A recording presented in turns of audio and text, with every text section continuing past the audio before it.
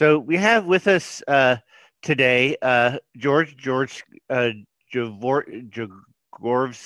Please pardon my butchering of your name, George. Forgive me. You're not I, the first one. I, actually uh, pract- I practiced that and then I choked at the critical moment. Um, is an American astrophysicist. Um, attained a BA in astrophysics, University of Belgrade. He has a PhD in astronomy from UC Berkeley. Harvard Junior Fellow when he joined the faculty at Caltech. Uh, George is one of the founders of the Virtual Observatory. He has been one of the founders of the emerging field of astroinformatics, which he uh, co organized with Giuseppe Longo, who is here with us today in the audience. Um, uh, and uh, organized a series of foundational conferences. Um, he is the founding director of the Center for Data Driven Discovery at Caltech. He uh, was also the director of the Meta Institute for Computational Astrophysics, MICA, I remember when MICA was here in uh, in Second Life, the first professional science organization based in virtual worlds.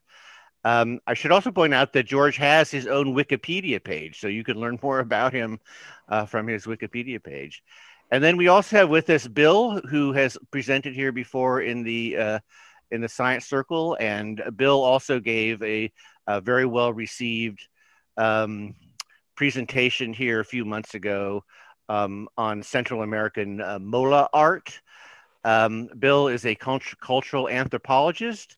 He describes himself as hardwired into the fields of information systems, anthropology of di- digital culture, geospatial analysis, and current events. Um, globalization, social ecology, the evolution of human consciousness. Um, uh, he um, uh, uh, describes himself as an expert in the design and production of uh, geographic databases, 3D modeling, cartographic production, and so forth. Um, so I think uh, uh, this will be a, a very interesting, two, two very interesting perspectives on the capabilities and promise of virtual worlds. And with that introduction, um, George, take it away. Um, please share your thoughts with us on this topic. Well, thank you, Matt. Thank you all for being here, and thank, thanks, Chantal, for the invitation. This is, of course, one of my favorite topics. So I have obviously some thoughts and opinions on the past, present, and future of virtual worlds, and none of this should come as a surprise to any of you, but I think it's just a way to start a broader conversation. So my familiarity with it began circa 2008 with the Meta Institute for Computational Astrophysics, which uh, was organized as an experiment to see what this technology can do for us in science and scholarship. And back then, uh, I had a real revelation, epiphany, if you will, of how powerful this technology could be as a means of communication. And we we're all very enthusiastic. Many of you were around then. Um, we all thought that you know within a few years everybody's going to have an avatar and there'll be this parallel world uh, in which things will be done and then that didn't happen so it's kind of worth thinking about why this didn't happen uh, because we think about future and where we might go. And it's a complex situation. For one thing it was pretty much a bleeding edge technology. People just weren't ready and hardware wasn't ready, both the computers and the network. But more importantly, I would say there were sociological or psychological reasons against the uptake, which we've seen again and again in all manner of revolutionizing information technologies. But once they catch on, they really catch on. And of course, there was a spectacular mismanagement on part of Linden Labs. They could have really owned the metaverse, and they didn't. Like every bad decision they could make, they did. Uh, since 2012, I've been waiting for Second Life to die, and yet here we are. Um, so things kind of puttered along for a while. Um, and then what started maybe about five years ago is what I would like to call the headset revolution. First, the uh, Oculus and HoloLens came along, and there was all this great hype about virtual and augmented reality. And um, I said, well, how finally, here we are. Now, this is really going to become mainstream. And everybody was very excited. But then that didn't really happen. And it's interesting to ask why. It's kind of obvious if you if you ask me. First of all, the headsets were, are not yet very capable in terms of the resolution, refresh rate, etc., etc. And they are still way too expensive for most people. In fact, companies that make them sell them at a great loss because they hope to sell software products, right? Um, so everybody expected that the games industry which was investing zillions of dollars in this, will really carry that burden. And since people love the games so much, that's how it's this is going to penetrate through general society. But it didn't happen. And I think it's really the expense and the clunkiness of the headsets that really precluded that. So people couldn't buy them, therefore they couldn't buy virtual games. Therefore, the uh, games industry lost interest. And what we've seen for last couple of years, uh, immersive or even augmented virtual reality is really moving into the enterprise regime, where people use it for manufacturing, design, even conferencing, military uses it for training, and so on and so forth. So because of that, I finally decided that maybe for the next few years, maybe five to 10 years until the headsets catch on and become lightweight, like the glasses I'm wearing, virtual worlds are probably going to be the most promising platform for introducing this new means of interacting people with other people and with information and everything else. So I do think that we're moving towards the 3D web slash metaverse slash whatever you want to call it. It's just the technology needs to get a little better and social acceptance has to develop. Now, people are much more accepting of video games these days than they used to be, and many are practiced, and new generation of digital natives is growing up. And I watch my kids have playdates in Minecraft, and so things are all moving in the right direction. But I think at this point, it's really technological and therefore financial obstacles for towards the broader uptake. Well, you probably noticed that there are many, many virtual worlds popping around like mushrooms. And in my opinion, almost all of them, with few notable exceptions, are really poor. And there are good reasons for this. The good ones are the professionally developed games uh, that use proper libraries. They have fantastic graphics, high quality avatars that are only specialized for the game. But game companies have large teams of engineers and designers and who work for a couple of years and spend tens of millions of dollars in doing these things and they make oodles and oodles of money at the end. None of the virtual world companies with an exception of aspiring one which is facebook uh, have that means of doing it. But there are technical reasons why this is not happening. Even back like 2008 or so, we thought, well, the, the only way this can really spread out if it becomes web based as opposed to having these special browser closed, you know, walled garden mini worlds. And there are really good reasons why that doesn't happen. One of which is graphics, which now is getting better. But even today, to really run proper graphics of this nature, you require all the resources of your machine, assuming you have a relatively new one. And the web browsers just don't do this. Web browsers have a lot of built-in protections uh, for security's sake, which is why whenever you upload one of these browsers, it asks you, are you sure you want to run this? You know, download it at such and such date. And you say, yes so they essentially take over a lot of resources of your machine in order to create as much graphics as, for example, you see here now. The other technical reason is the bandwidth, and that's getting better, of course, uh, with G5 and all that, and the Internet of Things. And now people are talking about distributed spatial computing, much of which will be essentially creating some form of extended reality once there are proper sensors and display motion options and so on and so forth.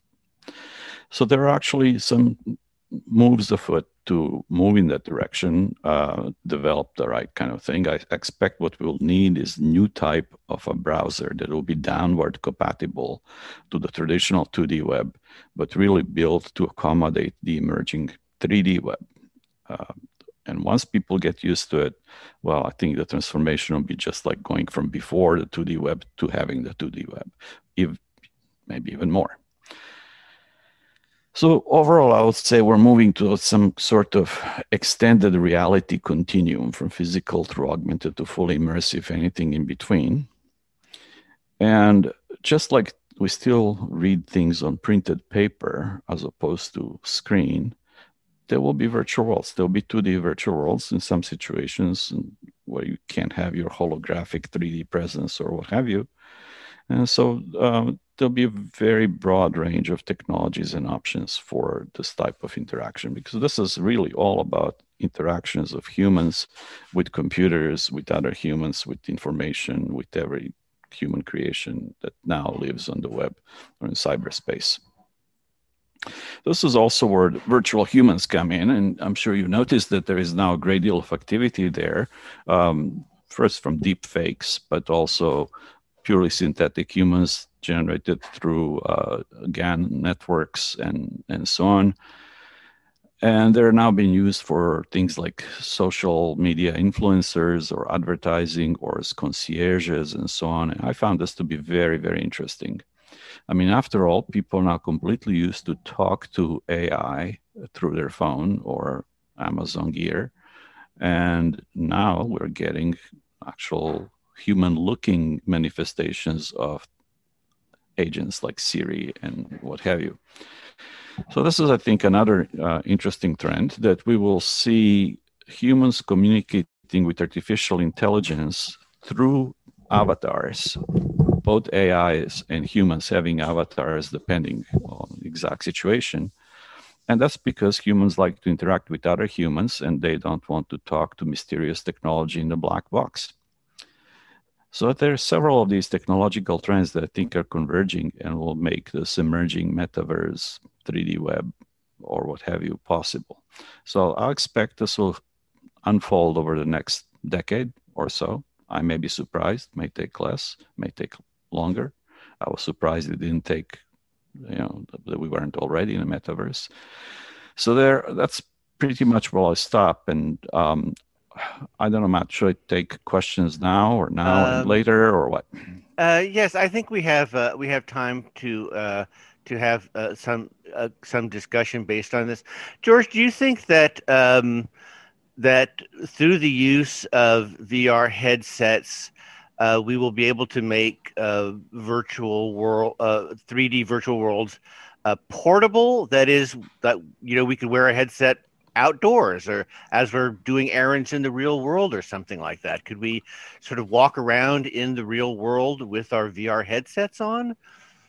Yeah, I think that's a necessary thing, except it won't be big, clunky, like scuba mask yeah. things. Um, I think once headsets become as lightweight and as comfortable and portable as regular glasses, and yeah. in the future maybe you know smart contact lenses or even direct brain interfaces which i mm. think are coming at some point yeah that that i think is going to be the essential part of creating a 3d web but in not, the meantime yeah. you know it's it, you know even even good old flat screen virtual worlds can do a lot yes i agree with that um, i uh, i had not thought of contact lenses, but um, as a my my profession is I'm a patent attorney, and I did have an occasion a couple years ago um, to uh, uh, meet with a, a, a client prospect uh, who is developing a next generation VR uh, quote unquote headset,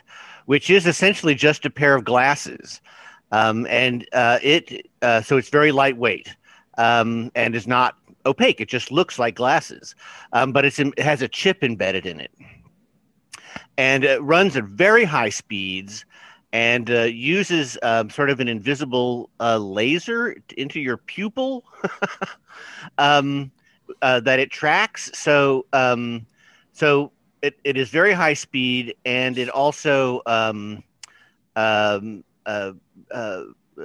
uh, because it does uh, it does track your eyes and so forth. It uh, it eliminates the sort of vertigo. I mean, one of the complaints of VR headsets is the vertigo because the frame rates are too mm-hmm. slow, and uh, if you move your head, you know, or something like that, you can get vertigo.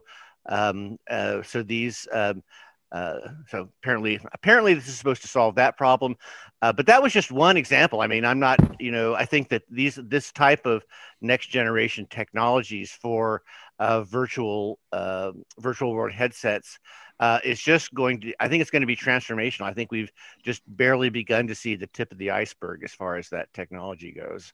Yeah, I think you're exactly right, and there are many different companies working on this. I think right now uh, facebook's doing amazing stuff in facebook labs but i'm sure the others like all big ones like google and microsoft and so on apple are doing their own and the reason why, why it's you know it's secret because they know it's going to be an amazingly transformative technology like iphone right right um, now i believe that uh, facebook was also uh, an early investor in sansar the linden labs sansar uh, or at least they were um, an investor in the headset that was going to run Sansar, something like that.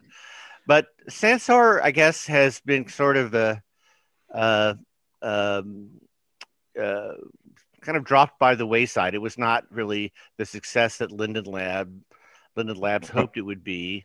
Do you yeah. have any insights into that? I don't fully understand the history of Sansar, but I am a little curious as to whether there were any lessons learned from it. Yeah, I, I, mean, I don't have any private insights, but I, I, think I have a reasonable explanation. And I think Linden Labs were victims of the hype, like so many others, that they overestimated how quickly will the enabling technology develop and become affordable and so ah. on. So they ended up with this gigantic, unwieldy thing, and you know they couldn't get audience, as you know. This is all about human created content, user created content. And, you know, you don't have enough humans, humans don't come. So, yeah, Mike uh, uh, Mike Shaw points out in the nearby chat that uh, Linden Labs actually sold off a Sansar. Oh yeah, yeah, they spun it off, and I yeah. don't think we'll get anywhere. But you know, same thing happened with Phil Rosedale and High Fidelity. Yeah, and, well, there right. they had an extra problem of having Phil Rosedale, who had established himself as a guy who screwed us up.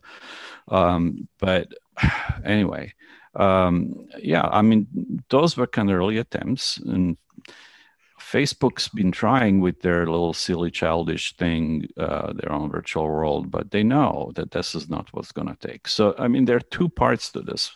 One part of the technology is things like headsets, frame rates, all that stuff.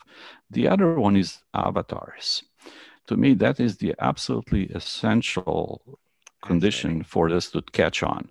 Yeah. Um, you have to have realistic human avatars, um, at least as good as the new ones in Second Life, probably better. Uh, mm-hmm. which have to be fully functional, have to be portable, they have to be universal standards.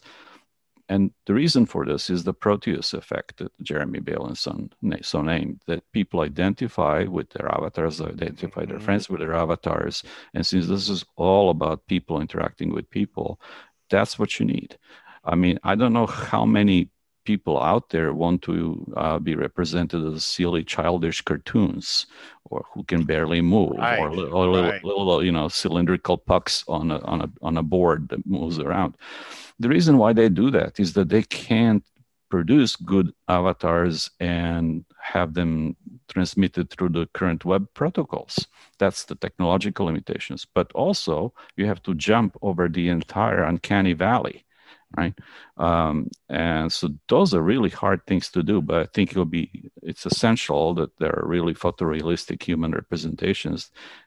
They both hmm. need to represent actual humans but also allow customization or you know have libraries of different ones that you can use just like you do now um, you know i think one of the uh, uh, miscalculations about sansar is my understanding sansar was really um, a, a, platform for creators um, for people to uh, to build environments uh, in sansar um, but it was not really a social world. There wasn't really anything for users of the platform to do except visit the environments that had been created by the by the content creators.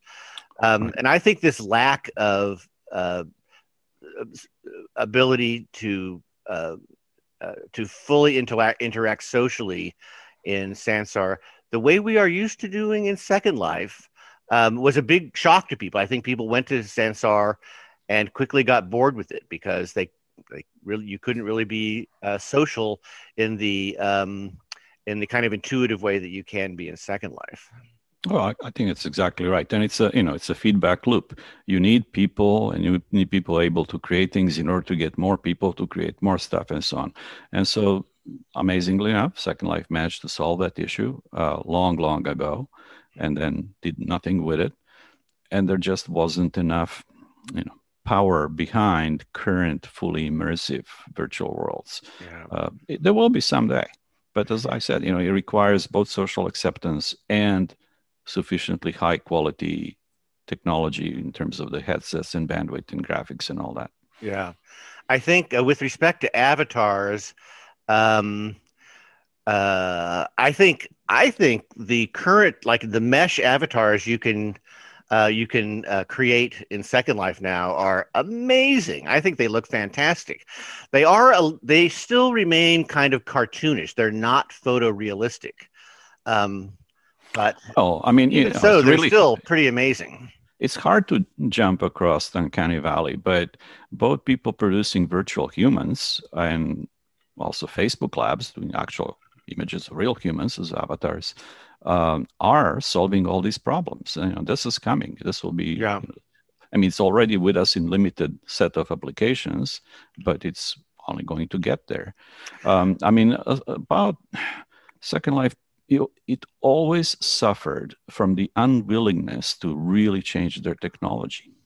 And of course, I think mesh avatars and mesh stuff was brought in by third parties. Correct me if I'm wrong, yes, not by Linden yeah, Labs. Yes, right? I just wanted to mention that one of the so one of the initial appeals of the Second Life platform was that you know it was entirely user created. They provided building mm-hmm. tools in the platform right. so that um, so that the users could create their own environments and their own objects and their own avatars and so forth, um, which was pretty fun for a while. That was a very cool thing, um, but uh, but quickly hit it bumped up to a, a limit, a ceiling, um, where things couldn't really get any better.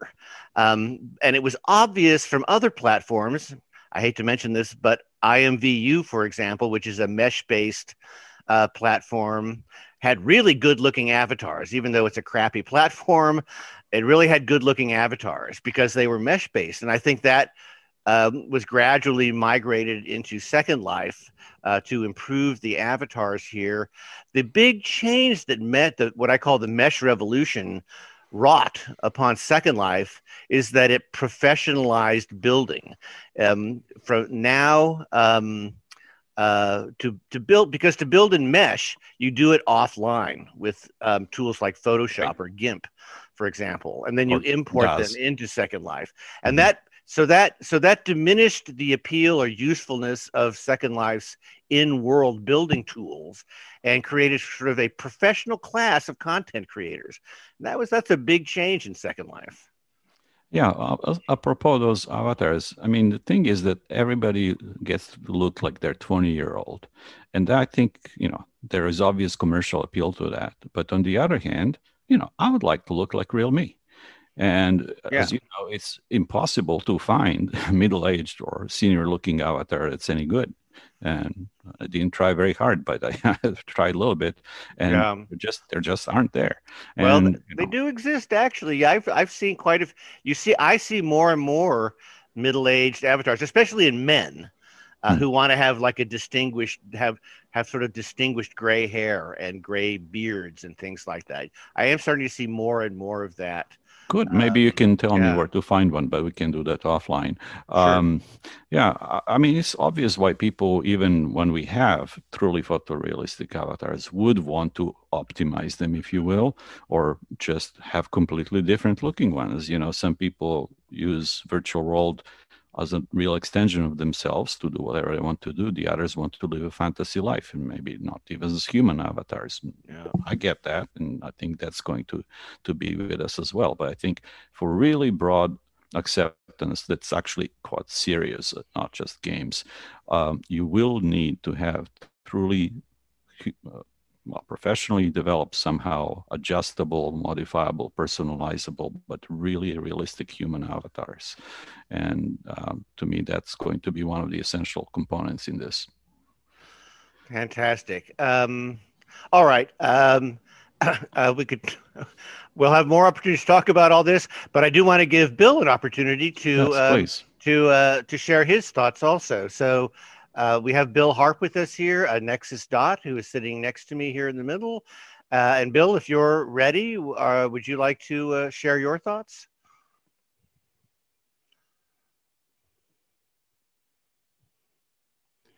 Okay, can you hear me?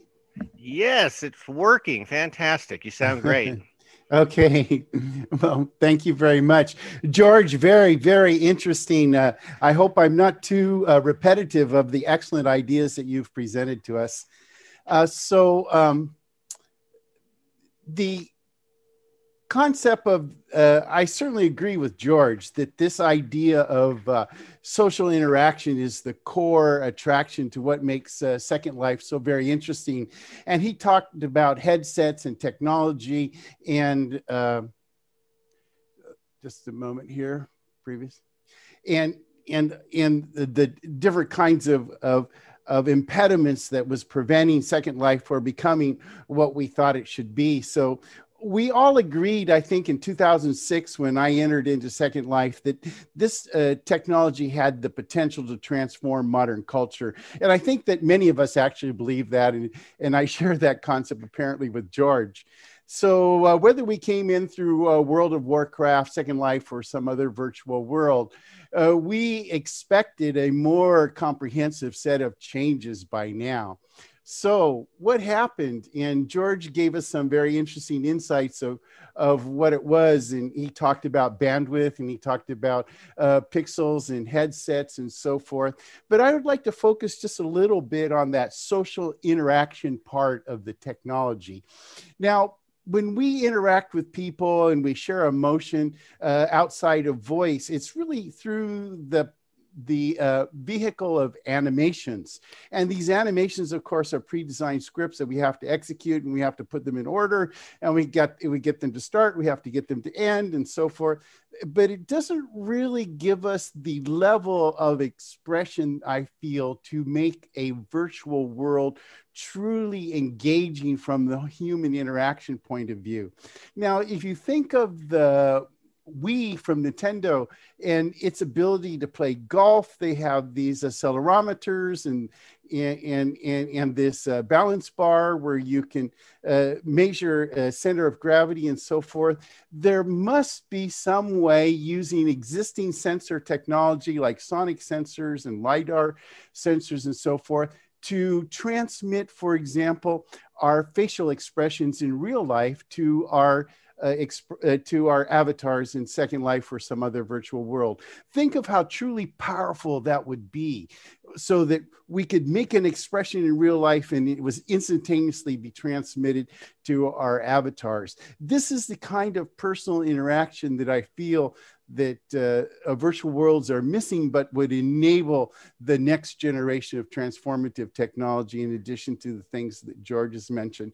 And the other aspect is trans uh, transmitting our movements, our hand movements, or uh, our body movements, but especially our hands. Our hands are so incredibly expressive in the real world, but yet we have to rely on kind of silly animations to transmit uh, hand expressions in, in Second Life and virtual worlds. So, of course, we could easily have sensors. These uh, sensor technology already exists, you know, LiDAR and sonic sensors and uh, uh, uh um, accelerometers and, and, and, and gyro, gyroscopic uh, trackers. These kinds of sensors exist, but no one has made a standard product that we could use in Second Life that could easily transmit our real life hand movements into uh, into our into our avatars. So think of the combination of those two kinds of things: uh, hand movements, facial expressions, and of course, you know, Ready Player One is uh, somewhere in the more distant future, but of course, transforming uh, entire body movements into our avatar would, of course, be something that will eventually happen in virtual worlds. But I think that this was one of the impediments associated with all the technological impediments that George mentioned that uh, that is inhibiting our ability to create this, uh, you know, cultural transformation and, and engagement in, um, in, in Second Life.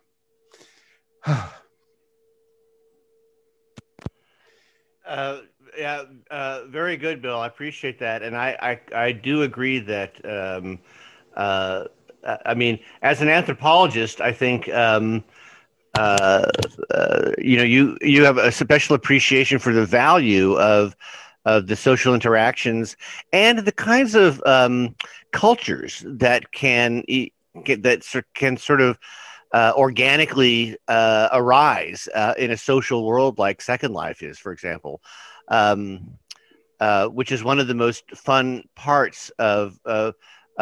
being able to enter this sort of world is to be able to um, explore all the sort of um, uh, surprising subcultures um, and interest groups and things like that that that just arise organically from people seeking out people with similar interests and so forth.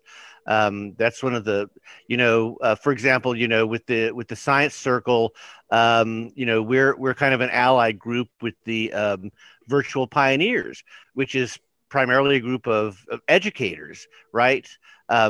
Although not necessarily you know science based, but just educators in general. Um, so and so that's an example of kind of a of a, a, a, culture here in Second Life. But you know, there's also you know I don't know, there's vampires and you know role players, science fiction role players, and uh, I don't know um, furries and tinies. You know, the tiny subculture in in uh, in um, uh, uh, uh Raglanshire uh, here in Second Life, um, and uh, and so forth. Uh, it just it just um, uh, and and unlike in the, in the real world, I think there are real barriers to you know to where you can feel safe sort of um, observing uh, some uh, uh, uh some uh, you know sort of alien culture to you but uh, you know in a virtual world um, you know you can do so relatively safely and harmlessly. You can uh, you can sort of you can sort of visit uh, these subcultures um, uh, um, and uh, kind of get a flavor of them um, without you know being threatening to them or them being threatening to you or whatever. So um, that's a very uh, exciting uh, potential for the you know you can just imagine as um, the use of virtual world platforms um, uh, becomes more universal um, the kind of you know i don't know maybe it can help you know people become uh, you know more tolerant and more open-minded you know Now, if I may uh, add to this, I mean, this whole business about nonverbal communication is a really interesting one. In mm-hmm. fact, it was uh, uh, one of the things that amazed me is how much you can convey without any facial expressions or gestures, it's just with words. And it's part of the this illusion that our mind creates that we interpolate over things that we don't really see. And so I, I was personally just amazed how much you can do just with the verbal communication and, kind of knowing what people do. Um, of course, there'll be haptic technologies that will capture facial expressions and gestures, turns out they're not all that important after all, except yeah, for Neapolitans, of course. That's extremely interesting because, um, you know, before the advent of platforms with avatars, um, for example, in the 90s, like AOL chat rooms and CompuServe chat, you know, chat rooms were very popular. Um, you know, uh, I think for the most part, you know, people were perfectly happy to just type at each other in a chat room. Um, and that was uh, that was actually pretty good. Um, in fact, I think one of my initial impressions of some of these um, avatar uh, based platforms is that they were simply chat rooms that were enhanced by avatars. If that makes sense. Um, and that's kind of the way, uh, to some extent, that's kind of the way I use Second Life now. Okay, great, great conversation, and uh, we could talk all day. I think about the nature of social engagement, how it will evolve, and the kind of technology that will will enable that. But I'd like to go on to my next slide and talk a little bit about the digital aesthetic and transformation of our concept of art. So I'm suggesting that. Uh, the concept of traditional art has been challenged by artists in virtual worlds where there are actually new technical and aesthetic capabilities that here too didn't really exist. And uh, one of the ways of explaining this is that when we developed 3D printer technology, 3D printer technology could take its instructions from an AutoCAD file or some kind of three dimensional file. But previously, when you actually created things, objects, you had to mill them with machines. And machines can only access uh, material in certain kinds of ways. But the moment the 3D printer technology came available, you could make all kinds of different objects that were impossible to create using milling technology or lost wax cast technology and so forth. In the same way, art is being transformed in the virtual worlds in a way that is uh, causing us to rethink uh, our concept of art. So I would like to talk about a particular example of what I think is the, at the vanguard of this art art art re- revolution, and, and that's the focus group. And they have created a sim that's filled with immersive oral and visual art that you actually have to go and visit to participate in. And I have a few slides of. Uh, of uh, the focus uh, of, of, the focus um, exhibit, but it just doesn't really uh, give it due justice. But I'll do my best to attempt to explain it. And I certainly agree with George that um, avatars are at the fundamental uh, base of communicating our persona or our uh, desires to uh, express certain kinds of, of, of personality characteristics. Uh, many folks have multiple uh, avatars that express different kinds of personas. And uh, here was uh, one avatar that I thought was particularly interesting that I captured in the Focus exhibit. And it's entirely made of demo stuff. Everything about this avatar is demo, but it is actually a very compelling and, and beautiful artistic avatars. The um, the artistic manifestations of avatars as personas is itself just an incredibly rich area of, of, of, of knowledge and, and artistic manifestation. And we could talk all day about it. But I think that these uh, artists, uh, in particular the ones that I've chose to focus on the focus artists, they represent what I'm calling a new generation of digital cyber shamans. If you think about traditional shamans, they were able to create a expressive, transformational understanding of the nature of the universe through the communication with spirits. And I'm suggesting that these artists, as digital cyber shamans, are doing something similar for us. They are invoking their artistic vision in a powerful way that causes us to experience art in a new and fundamentally different way than we have perhaps in the past.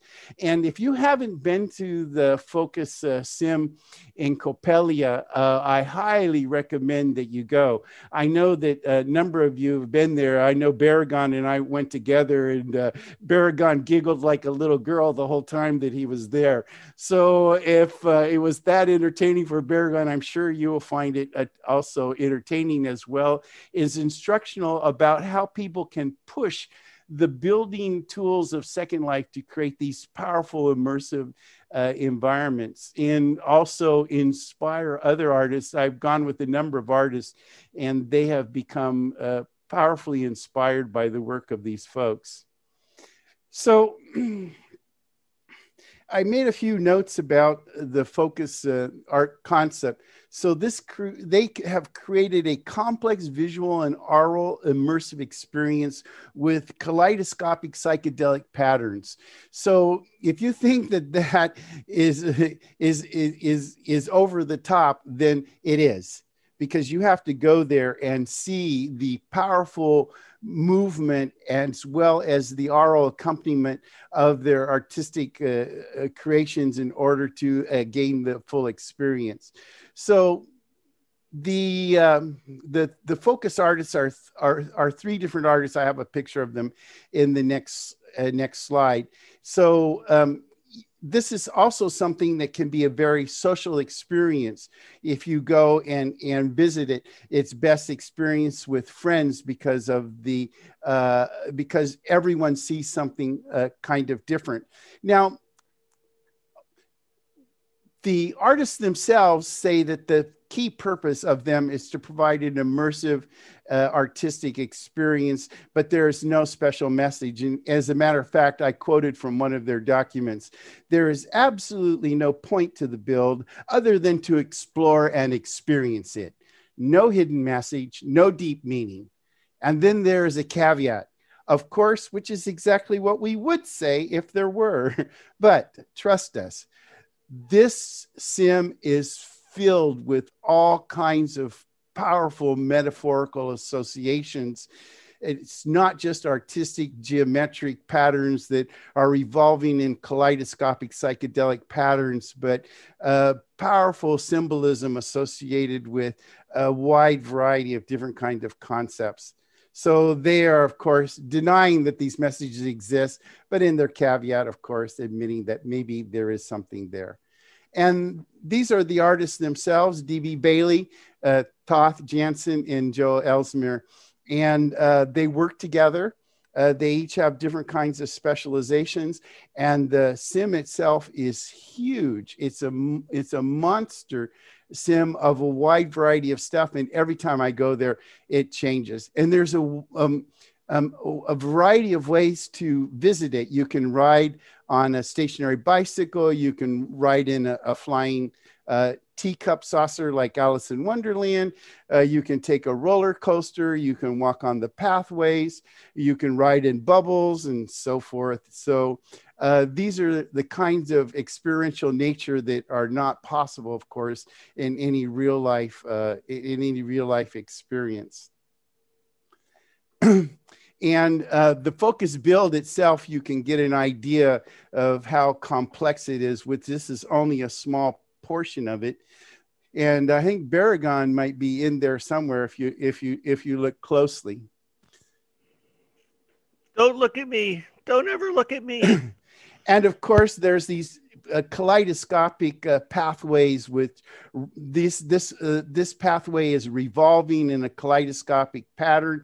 It's moving and there is sound and there's a variety of different soundtracks associated with the uh, uh, with the geometric patterns. And i would just like to say that uh, sumo said field trip and i would just delete the word field and say trip this is the closest thing to a visual representation of a psychedelic experience under the influence of hallucinogenic uh, ethnobotanicals that I have seen anywhere in, in any kind of media.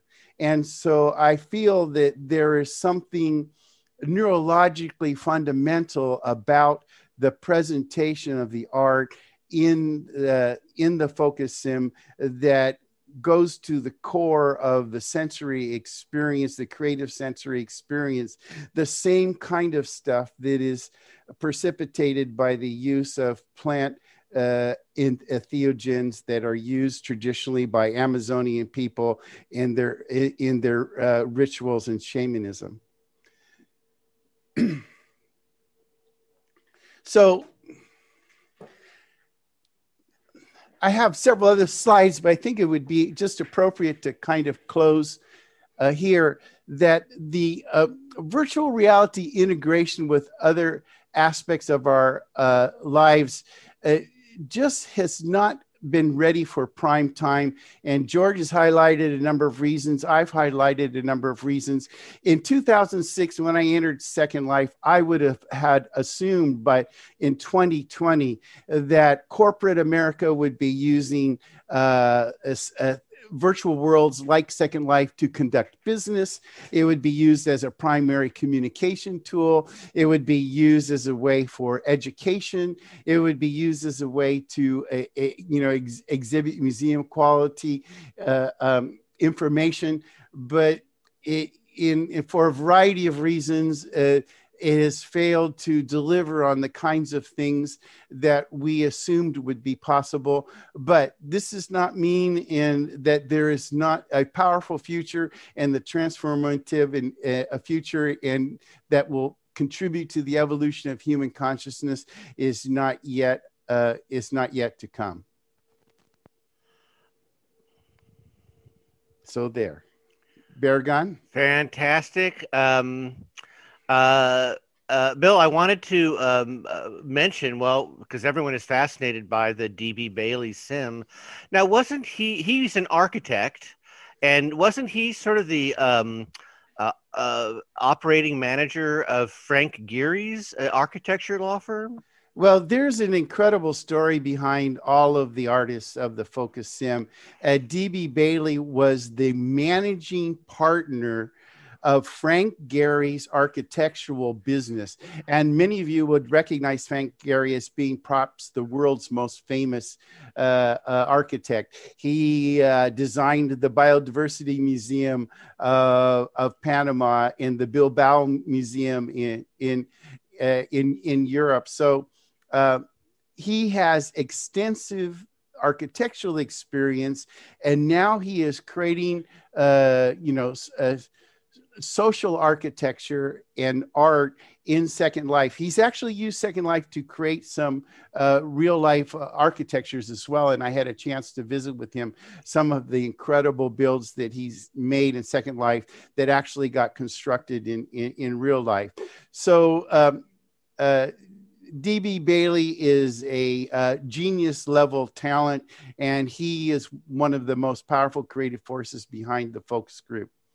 And um, it's also extremely interesting. He has, uh, you know, he's elderly. He's suffering from Parkinson's, I believe, and he credits uh, his, a lot of his um, uh, outburst of creativity uh, in virtual worlds uh, to his Parkinson's. That it has essentially sort of unlocked um, a creative chamber in his brain um, that he had not tapped into previously. So that's another extremely interesting uh, element of uh, his, um, uh, you, uh, you know, what it creates here. Yes, if you go to YouTube and you uh, search compulsory creativity Parkinson, uh, you will get his lecture on how he feels the disease has affected his creative abilities. And I would suggest that it is, uh, and and it's I think it is his assessment that it's an interaction between the uh, drugs that he's taking and the disease. And my suggestion to DB Bailey, which he uh, is willing to entertain, is that this is tapping into the same kind of components of the brain that create the uh, theogenic uh, effects of, uh, of, of hallucinogenic ethnobotanicals used by shamans throughout Amazonia. Yes, that's right. So, I mean, that's that's a, a that's a fantastic segue or tie-in uh, to the. Uh, I love this idea that um, uh, you know ties in with your idea of the cybernetic shamans.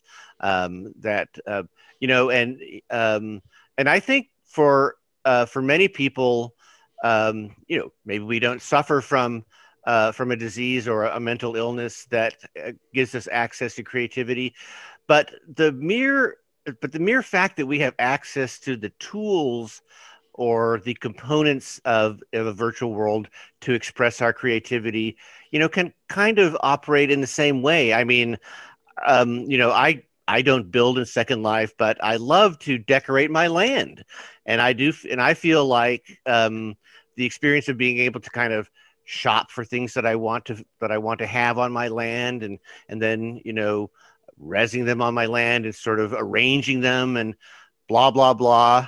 You know, is a is a form is a creative outlet um, that I don't really have in the real world. I'm not, I, you know, I'm not a good painter. I'm not a sculptor. Blah blah blah. I'm not a musician, right? So Second Life does provide a, a creative outlet, uh, um, even for you know just regular people like me, and it's you know it's fun. I've met a number of artists at Baragon that are not real life artists in any way, shape, or form but have become artists in Second Life because they've been inspired by the power of the tools and the ease of the use to create right. artistic level uh, level products. Right, right. Um, uh, well, I, I, just wanted to interject here. Um, we're approaching the 10 o'clock hour in Second Life, that's Pacific time.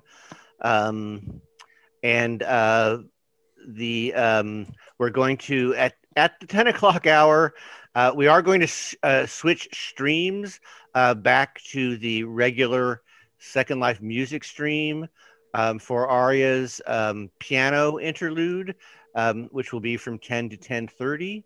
Um, and we're just about there now, so don't let's not uh, let's not let that uh, slip by.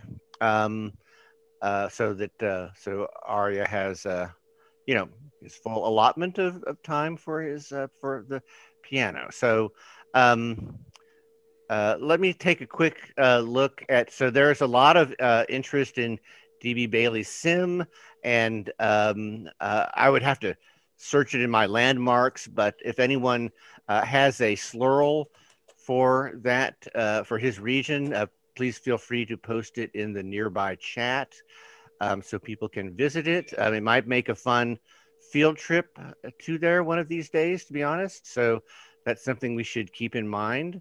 Um, and uh, um, uh, our uh, uh, um, and I I should also mention that it looks like we have the piano set up right here. So if you do want to uh, hear our piano interlude, I think you can stay right here. We don't need to um, change locations.